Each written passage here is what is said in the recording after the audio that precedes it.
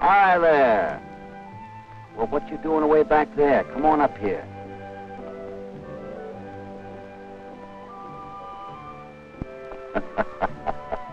ah, that's better.